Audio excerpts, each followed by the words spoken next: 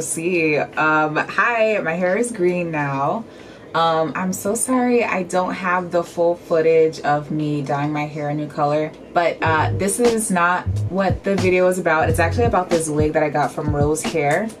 And I just wanted to show the package really quick because it's so cute. So the package is really cute. It's from Rose Hair and it's like a little handle. And it also came bubble wrapped, which is awesome.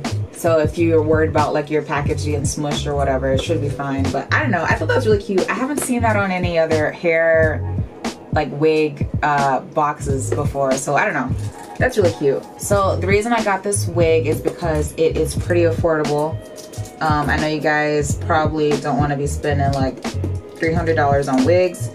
I'm gonna try to keep uh, the wigs that I end up getting um, more affordable I think it's gonna look really cute. I still need to braid back my hair. I don't even know if I'm gonna put this part into the video, but um, here we have a bag. It comes with a bag. Inside the bag, we have some stuff. Oh, sweet, okay. Inside the bag came some tweezers. You could always use some tweezers to tweeze the hairline.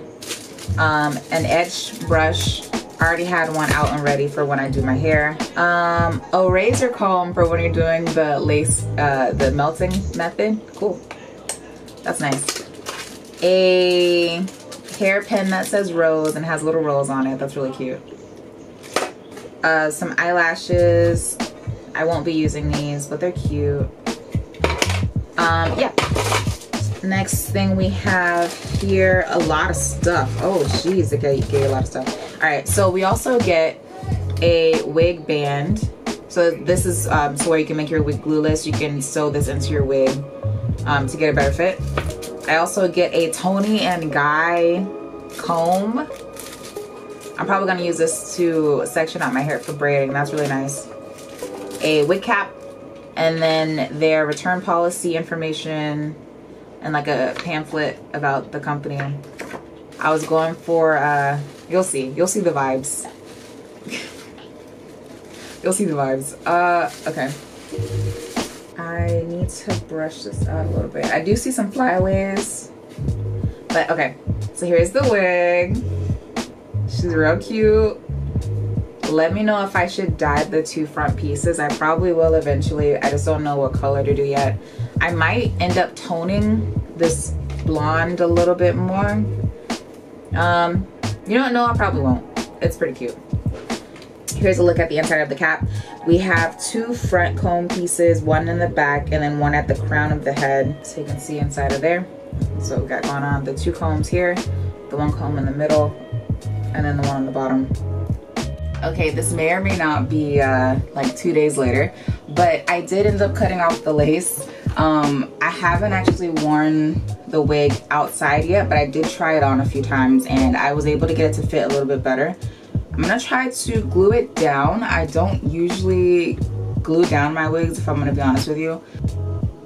I should have probably put the wig halfway on my head before doing this, but it's okay.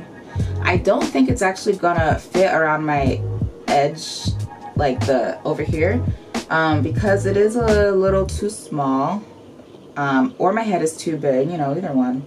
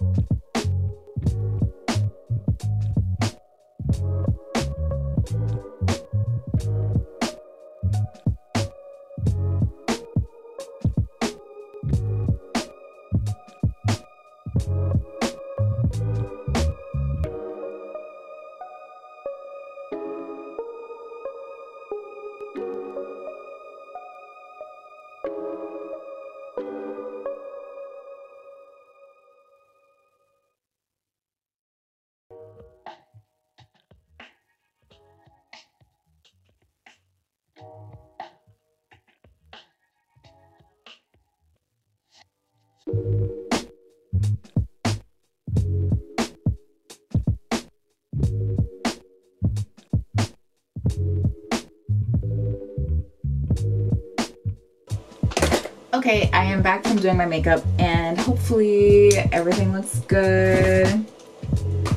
Am I a little worried? Mm, not really. I mean, I'm going out today, so like, I really shouldn't put on makeup at all, but I wanted to for this video. I'm probably gonna go in with a little bit of uh, concealer or something. Yeah, she a little crusty, but it's okay. I'm not gonna put my hair up for this. I just wanted to have it, um, I'm not putting my hair up at all today. I just kind of wanted to have the hair on. So here's what the sides are looking like. I probably should have plucked the hairline a little bit. It's not pre-plucked as far as I know. So yeah, I mean, it's not, it's not too bad. If you are, I don't think this wig is big head friendly if your head is bigger than mine. Um, I don't know if this is gonna work for you. It works kind of okay if you put bobby pins in. Um, it works kind of okay if you put bobby pins in. I think that's fine for what I need it for. I am planning on dyeing the front two pieces, but I'm not sure what color yet. I was thinking red, but leave a comment. Let me know what color I should dye the front two pieces or if I should leave it blonde because I might also just leave it blonde. The only thing I regret is not getting it shorter. So this one is a little too long. I was going for more of a bob and I believe I got 14 inches. I probably should have gotten 12 but it's still very nice. It's just a little too long for what I wanted it for. Yeah, I think maybe like an inch or two shorter would have been great. This was a very affordable wig. I think it's only 150 or 160 and I'll put in the price of it just to be sure, but I'm not completely sure. I think it's 160. Um, but it's only because I got 14 inches. If I would have gotten like 12, I think it would have would have been 140 or something. But I'll put in the correct prices somewhere. It is a silkier texture than what I would normally go for. Um, these days I've been really liking kinky curly hair, but um, I don't know if I've seen any e-girl like two blonde strands in the front wigs that are curly. So this was the next best thing for me. I'm gonna say I'll give this like an 8 out of 10. Um, I'm knocking off some points because I have a big head and this does not fit all the way and I wish it did because I am a lot better at doing like the whole baby hair thing even though I don't like to glue down my wigs I, I know how to do it now but if the wig doesn't fit all the way down I can't do it so that's disappointing so I can't put this hair like all the way up in a ponytail or anything but besides that I think it's really nice. It's very soft. It didn't smell like anything out of the package. I think the blonde is really good for people of color. Like this blonde isn't too blonde. It's like a warm blonde so I feel like it would match a lot of different skin tones. Okay I am all done. Um, I put on some pigtails and I did I, I put on some pigtails and I also I put on some pigtails and then I also uh, put on some accessories. Uh, this is from Hot Topic. It's a ear, ear cuff. This one is, ooh, I don't even remember where this is from. I think it's also from Hot Topic. This is from Amazon. And this wig is from Rose Hair. And it is so cute. I feel very cute. I also kind of feel like, uh, you know when Christina Aguilera had that black and blonde hair like in the early 2000s? I, I'm getting those vibes too. Oh man, I am so into this. I just need to figure out where I can get some scrunchies because I don't think the black ones are doing me any justice. But oh, oh my goodness. This is so cute. What do you guys think? I think I might have to bump it up to a 9 out of 10 because I think this hairstyle did it for me. This really uh, solidified how much I enjoyed it. But um, yeah, thank you so much, Rose Hair. I really enjoy this wig. It is so cute. And um, I'm fulfilling I'm giving you all types of e-girl magic. Um, I'm so into it and it is so affordable. I think it's only like one something. So I feel like that's really good. I was on TikTok the other day and I saw this lady and she mentioned that her wig, some wig that she got was $500. And I was like, who's out here really spending five to $600 on wigs? I feel like that's way too much and you can find much better wigs at much better prices. And this is definitely one of them. So don't get scammed. Don't buy $500, $600 wigs. Uh, get you a good one like this one and you're good to go.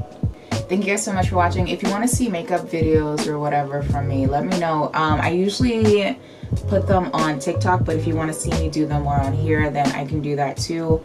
Uh, follow me on TikTok. That's where I post most of my content nowadays. or on Instagram. I think I uh, like cross post on Instagram too for the most part. And yeah, thank you guys so much for watching. I hope you guys have been well. And I'll see you guys next time. Bye.